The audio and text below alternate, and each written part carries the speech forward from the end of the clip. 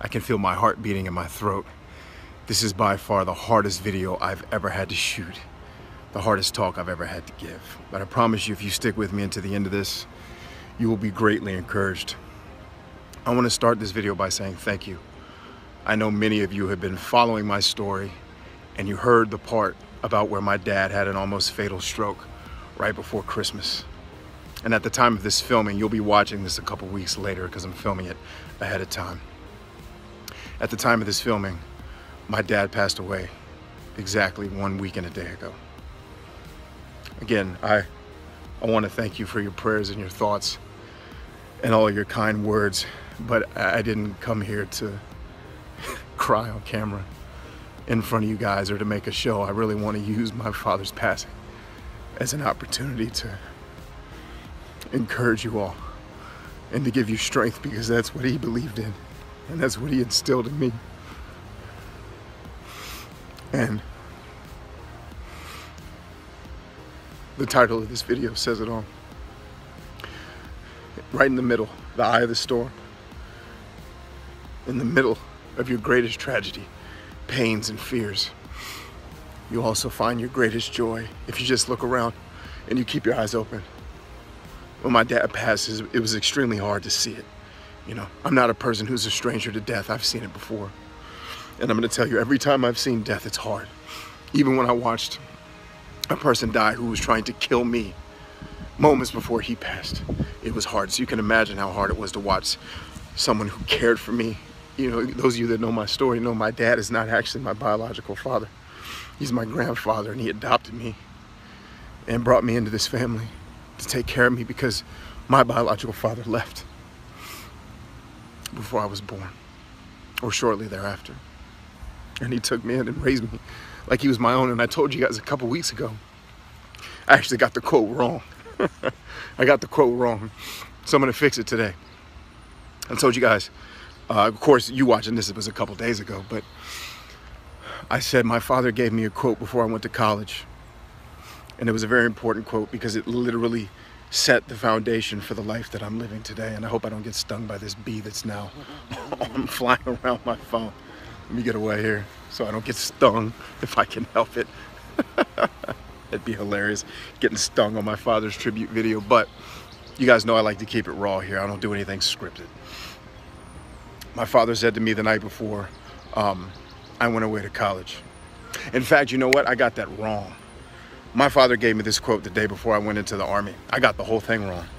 The night before I went into the army he touched me on my shoulder because he knew what I was getting ready to go through it was hard. You know, you're a young dude who's never been out there in the real world, except for a small stint in college when I paid for my last year and was working. And he knew I was scared. And he remembered being scared because he did the same thing. And he puts his hand on my shoulder. He says, and I want you to listen because the words he chose, he chose very deliberately and very carefully. You know, those of you that talk about how much you love the way that I talk. It's not on accident. I'm not good at this because I'm good at this. I'm gonna show you a clip before the end of this video where you get to see my dad talk. Back in 1996, uh, he gave a speech and I'm gonna, I'm gonna play that because the quote that I'm gonna play there is very important for the purposes of what we're talking about here today.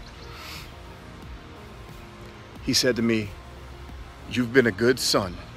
He started with son. You've been a good son. You've been a good brother and you've been a good friend. And I always thought that was interesting that he chose the word friend because my whole life that's how he treated me. Like we were best friends, man. Like he was my homeboy. I would come home from school and be like, what's up, B? Like people call me B, that comes from my dad. That's not a nickname I got in school. My dad started that. And he was a warrior, man. And he taught me to be one. But a warrior, you know, I was telling my son, last year. He said, Daddy is, is a warrior, a person who goes to other countries and fights people. And I said, no, man. A warrior is a person who does everything in his power to protect and care for the people he loves. And that was my dad, man. You know, I've used that quote from Sun Tzu all the time, where he talks about the best generals are those that treat their soldiers like their dearest, their own dear children. That was my dad, both as a soldier. He had a career as a 35 year old, 35 years as a soldier. I don't talk about that a lot. I don't talk about my father's accomplishments a lot because I don't like to brag. But my father was a badass dude. You got to understand that he fundamentally changed the way this world operates in many ways that you'll hear about as I continue to tell my story. I'll talk more about my dad now that he's passed. But you've been a good son, you've been a good brother, and you've been a good friend. And for someone who reached the levels that he did, to call me his friend, that meant a lot because that dude was, he was my idol growing up. He still is. You know, and so, and then just like I said, I didn't bring you here just to cry on camera. I'm not typically a very emotionally tear guy, but your father passing will definitely get it out of you if you're not a crier. But I'll tell you, in the midst of, and I knew this day was coming. We've known this. For those of you that, I didn't give you a whole lot of details of the story because it wasn't, it wasn't a pretty story. You know, my father's been suffering for about six months. He was ready to go. So that's it's good news that he's passed on because he's not suffering anymore, and he was suffering. Warriors don't deserve to be bedridden. I don't care, and I don't think any human wants to be bedridden, but warriors especially don't deserve that. And so a part of my soul is relieved that God, that dad's gone on to be with God because he's not suffering anymore. He's passed the final inspection. And so I say all of this to say, this day that I've known was coming for the better part of three years because he and I talked about this three years ago. Nothing could prepare you for the pain that you feel the day you get the news. I, I remember all the course of events that led up to my wife yelling, everybody get in the car. We got to get to mom and dad's house. And I knew as soon as she started screaming, I knew that's what was going on. And in my heart, I was praying, hopefully he's still alive, still trying not to get stung by a bee. But kind of in my soul, I knew he had passed on. And I knew he was ready because he, he and I had had a talk a couple months ago, just saying, Dad, if you're ready to go, we're ready to let you go. We don't want you to suffer anymore. And so he did. But in the midst of all that pain, watching my family to come together, all of our friends surround us with love and compassion and sympathy. And the smiles and the laughs and the jokes. Like we just had breakfast for my mom's birthday. Right up here on my deck, on our deck. We had mom's birthday. And, uh, and this, by the way, this isn't my house. This is the house my parents live in. Uh, you guys see me film here sometimes. I'm working on getting to this level. I'm not there yet, but I'm working on it. But um, the amount of joy and laughing that's happened as a result. And God has a way of sustaining you. And, and you remember, I don't know if you remember the video, if you watch me all the time, you saw the video I did a couple weeks ago or a couple days ago where I said, no pain is ever as great as you think it's going to be in your mind, and no pleasure is ever as great as you think it's going to be in your mind. This hurts a lot, a lot. God has been sustaining me with His peace and His grace, and I've had this weird, I can't explain it. It's this only God could be doing it thing where I've had this weird sense of gratitude during this whole event, this whole time. There's been this, thank you, God, that Dad's not suffering. Thank you for everything He gave me. You know, a lot of people talk about how good I am at speaking, how good I am on camera. Well, at the end of this, you're gonna see my coach. my first, you guys hear me talk about mentors a lot too. You're gonna see my first mentor. And he's gonna say something very powerful there. And I'm gonna end it with him talking because I want you to hear the spirit of the man that still lives in me that encourages me to come to you every day and to help and to hope that I can change your life for the better, even if in a small way. But in his speech, he talks about how we still have a long way to go. And we do, friends. My dad used to always preach, we play hurt, and there's just one more fight. If you're losing, if something hasn't gone your way, you've been fighting and struggling, and you've lost, if you are still drawing breath in your chest and you can still walk, you still have fight left in you. Why would you give up so close to the goal? Why would you give up so close to the finish line? One more fight. One more fight. My brother told me that story because it was a letter he wrote to him when he was at West Point. Dad didn't give me that speech. He gave it to my brother, and I asked my brother to teach it to me last night. One more fight. And you got to play hurt. I know whatever you're going through in your life, it sucks. Trust me, we all deal with suck.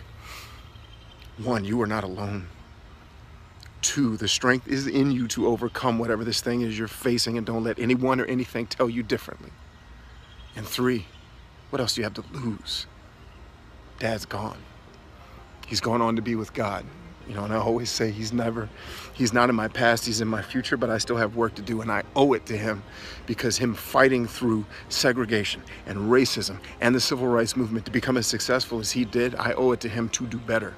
Not for status, not for titles, not for money. I don't give, I don't give a rip about any of that. But I care about what are people gonna say about our family when we're all gone. And I owe it to my dad to continue that legacy because he fought so hard and gave up so much for us to be able to have a house like this and to be able to sit here and talk to you on a camera.